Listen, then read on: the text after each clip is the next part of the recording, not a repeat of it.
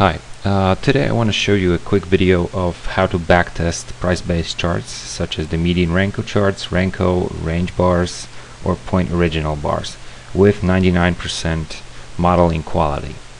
Well, the first thing you have to do is download your tick data. I use the SQ Tick Data Downloader application. This is a free app you can download from the internet. And what you have to do is first just select the symbol you want to backtest, select the uh, range, the date range of the data you wish to download, and start the download process. Now this is a pretty lengthy process, so it's going to take a while to download. I'm going to pause the video right now and uh, get back to you as soon as everything downloads for me.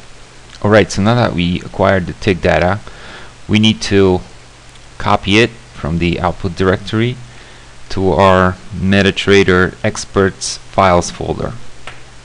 Uh, now once we have that done we can close the, uh, the downloader and we can open the MetaTrader terminal.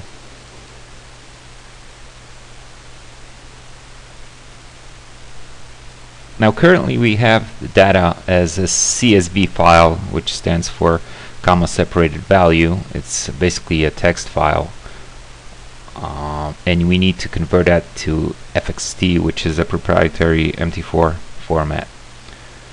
Uh, this is a script that's available on the EA review page.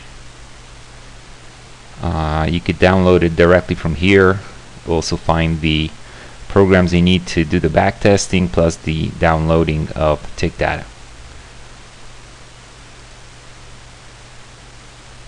Okay, so once we have that CSV file in our experts files folder, we need to run the CVS, uh, sorry, CSV to FXT script, but we're going to use a modification of that script. And since we're going to be testing a median Renko strategy, we're going to apply it through the median Renko plugin filter. So uh, all you need to do here is just load up the chart you're going to backtest, make sure it's M1, and just drag the script onto the file. Set the bar size, I'll set that to 20 pips.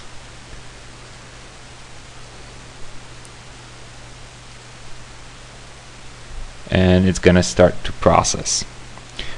Now this is going to take some time since we got uh, quite a lot of data downloaded but once that's done we need to close MetaTrader and start the tick data suite to do the backtesting okay so I'm gonna pause the video right now and I'm gonna get back to you as soon as uh, we got the data converted. Okay so the conversion process uh, just completed and the script placed the created files into the correct folders of MetaTrader. So we can go on and close MetaTrader for now. And we need to open the Tick Data Suite. So first we need to choose the expert advisor we, we wish to test. Then select the symbol. Make sure it's the period is M1. And choose the model as every tick anything else uh, you select will simply not work here. And we can start.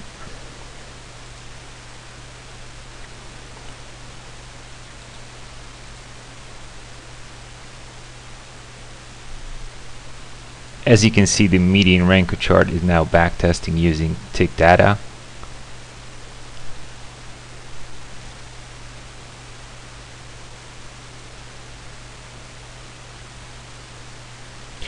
and that almost completes our video.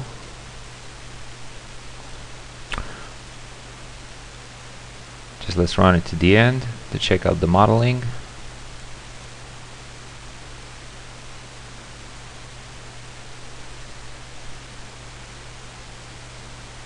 Okay I'll just pause for now and wait till the backtest uh, completes. Okay so the backtest is nearly done Check out the report. As you can see, modeling quality is 99%. which is what we wanted. Uh, just one more thing. Uh, you could check out my blog and see how to properly do the backtest because we have one step that we haven't covered yet and that's uh, how you need to modify your EA in order for the um, price-based charts to test correctly. Right?